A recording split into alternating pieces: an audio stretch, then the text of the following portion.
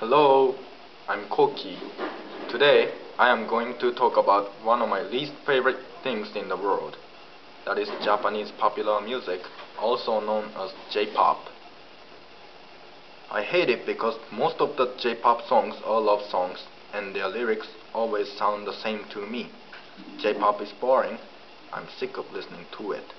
However, those who like J-pop often recommend me listening to it.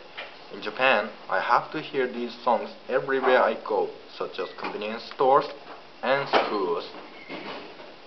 Even when I'm watching the TV, I overhear it because J-pop is used in the commercials and theme songs of TV dramas. I don't understand why such a kind of music is popular now. When I was a junior high school student, I was forced to listen to J-pop during the lunchtime. Then I began to hate it badly.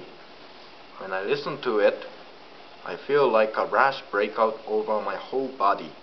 My ears begin to bleed, and I feel like I want to vomit. Please, someone stop it. No more J-pop. Thank you.